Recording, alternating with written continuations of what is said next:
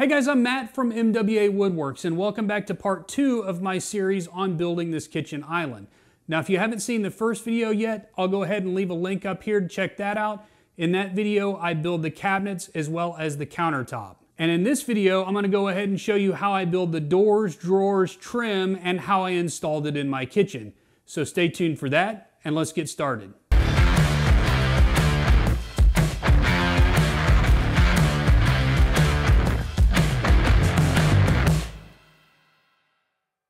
Now for the drawer boxes and all the trim pieces, I'm going to be going with solid wood. And for painted cabinetry, my preference is always to use hard maple. So the reason I like to choose hard maple in painted projects is because it's a very tight grained wood and so you don't see any of the grain structure coming through your paint job. And since hard maple is a really dense and very strong wood, it can take a good beating on things like kitchen cabinets. This kitchen island is going to get a lot of use over time, and so I want to use something that can withstand that abuse. And as far as hardwood goes, maple is surprisingly cheap, especially when you compare it to anything that you can buy at a big box store. Even if you don't have a jointer or planer yet, your local lumber mill probably has pre-surfaced lumber, which means that the planing has already been done for you. But for me, I always buy rough lumber. It's the cheapest and I have the equipment to mill it down, so that's what I'm doing here. Once everything's been milled down to size, I cut my drawer parts to final width at the table saw. I then use a crosscut sled to cut all the parts to final length. Now that I have all my drawer parts cut to size, I need to cut grooves in all the parts to accept the bottom panel. This job is done with a couple of passes at the table saw, and this is going to allow me to sneak up on the perfect fitting groove for my quarter inch plywood. And as you can see here, I've got a fit that isn't too tight, but the plywood does stay in place when you hold it like this. Now because these are kitchen cabinets and people are going to be in and out of these drawers all the time, I like to put a small round over on top of all the drawer parts, which is going to protect people from getting little scrapes and cuts on their hands. This is especially true with hard maple because these edges are notoriously sharp. Now at this point, I just need to sand all these parts smooth before it's off to the finishing room.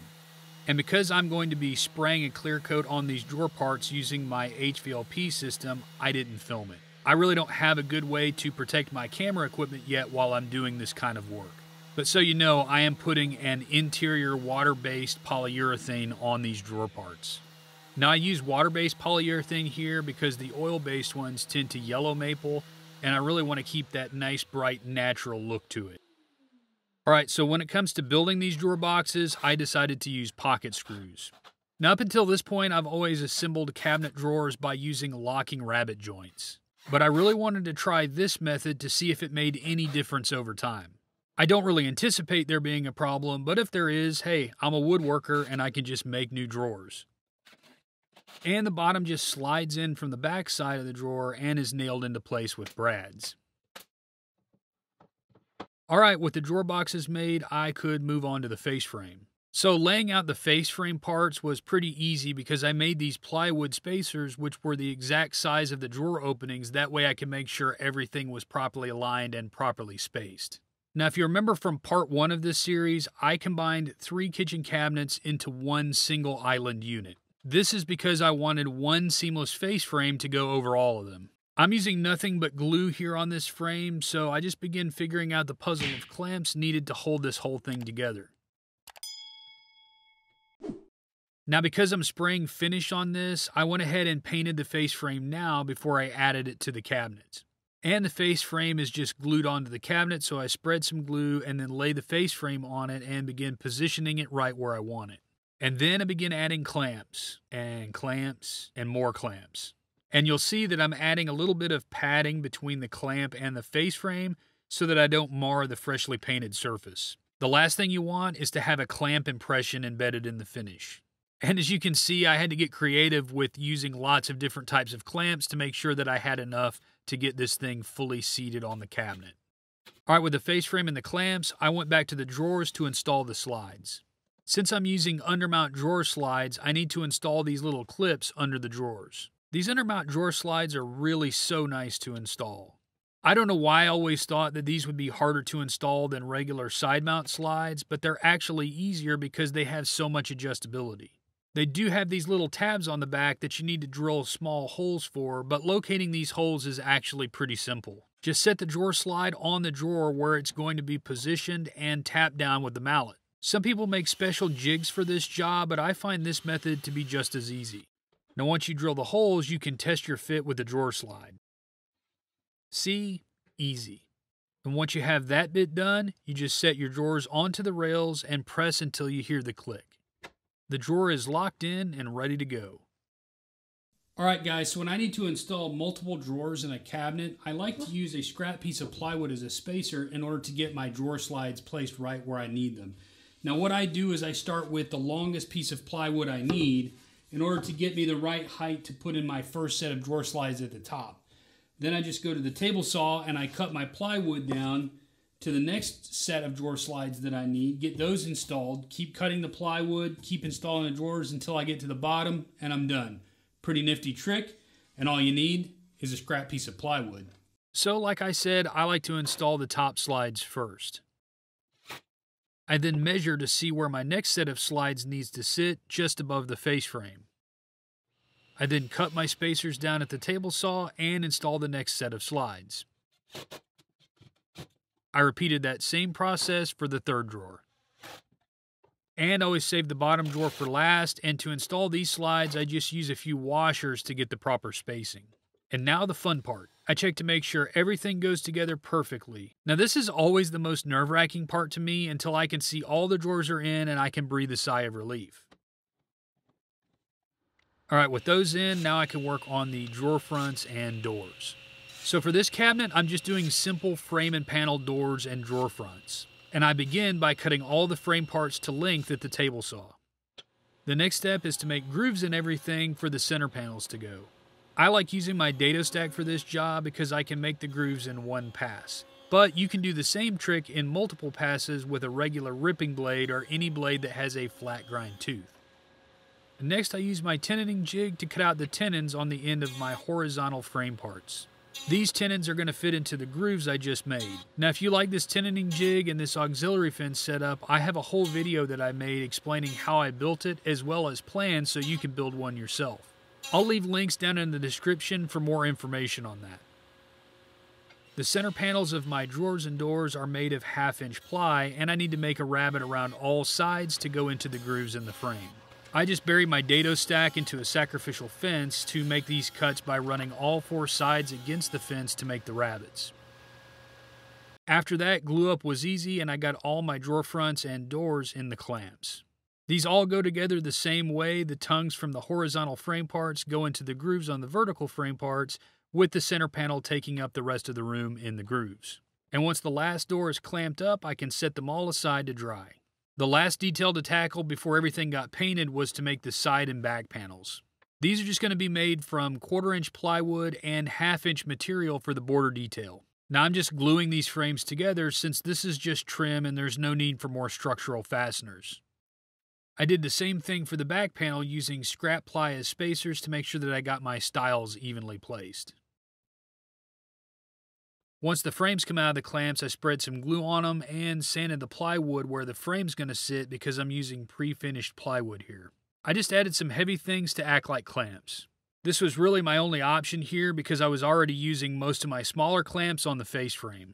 Now to install the drawer fronts, I cut up some 8th inch spacers that I used out of some of the scrap maple that I had left over. And I also made this little one-time jig that's going to help me set the first drawer and door spacing on the bottom of the cabinets. I put some double-sided tape on it and this is going to stick under the face frame and allow me a ledge to place the first drawer front on. This will make sure that I have a nice, consistent, and even gap with the bottom of the face frame.